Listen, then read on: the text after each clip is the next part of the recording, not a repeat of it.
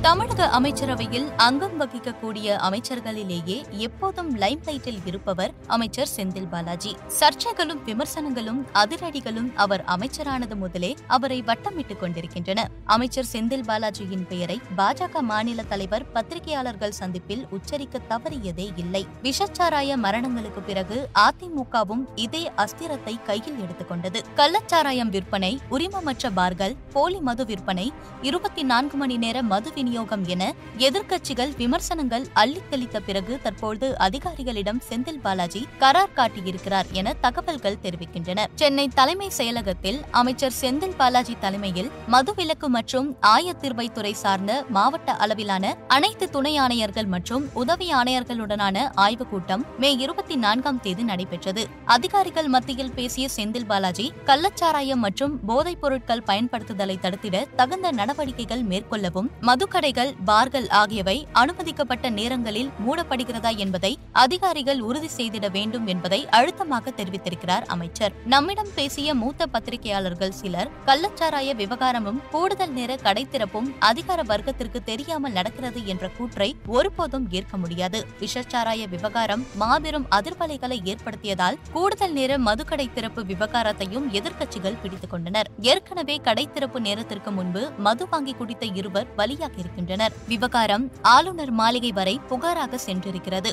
இந்த வேளையில் கூடுதல் விமர்சனங்களுக்கு இடமளித்து விட வேண்டாம் என்பதற்காக கூட அதிகாரிகளுக்கு உத்தரவுகள் பறந்திருக்கலாம் என்கிறார்கள். மதுக்கடைகளை அனுமதிக்கப்பட்ட நேரத்தில் மூடுவதை கண்காணியுங்கள் என்கிறார் அமைச்சர் செந்தில் பாலாஜி. மதுக்கடைகளை இருபத்தி நான்கு மணி நேரம் திறக்க சொல்வதும் பாட்டிலுக்கு கூடுதல் தொகை வசூலிக்க சொல்வதும் அமைச்சர் தரப்பினர் என்பதற்கு பல ஆதாரங்கள் பொதுவெளியில் கிடைக்கின்றன என்கிறார் அதிமுக செய்தி தொடர்பாளர் சசிரேகா. தமிழகத்தை பொறுத்தவரை பகல் பன்னிரண்டு மணி முதல் இரவு பத்து மணி வரை டாஸ்மாக் கம்பெனி மது விற்றால் இரவு பத்து மணி முதல் பகல் பன்னிரண்டு வரை கரூர் கம்பெனி மது விற்கிறது என்பது ஊரறிந்த செய்தி. டாஸ்மாக் கொள்முதலில் முறைகேடுகள் நடப்பதற்கு தஞ்சாவூர் போலி மதுவால் நிகழ்ந்த மரணங்களே சாட்சி. கள்ளச்சாராயம் கட்டுப்படுத்த தவறியதால் தான் இருபத்திற்கும் மேற்பட்ட உயிர்கள் பலியாக இருக்கிறது. மது கொள்முதலில் முறைகேடு செய்வது டாஸ்மாக் ஊழியர்களுக்கு டார்கெட் கொடுப்பது கூடுதல் தொகை வசூலிக்க உத்தரவிடுவது அமைச்சர் தரப்பே பிளாக்கில் மது விற்பது என இத்தனை அவலங்களை அமைச்சர் தரப்பில் செய்துவிட்டு அதிகாரிகளை அழைத்து கண்காணியுங்கள் என சொல்வதெல்லாம் பெரும் கண் துடைப்பே.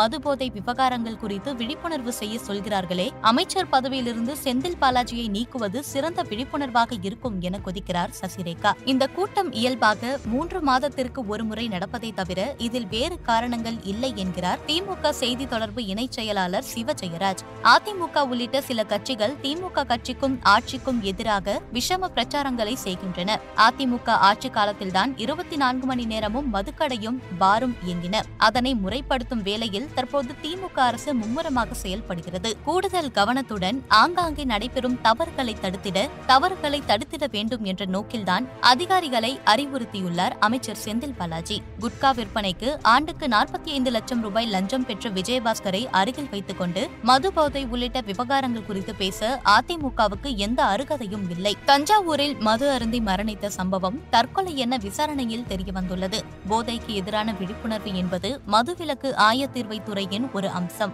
இனி இதுபோன்ற கள்ளச்சாராய மரணங்கள் நிகழ்ந்துவிடக் கூடாது என்பதில் திமுக அரசு மிக உறுதியாக இருக்கிறது என்கிறார் சிவஜெயராஜ்.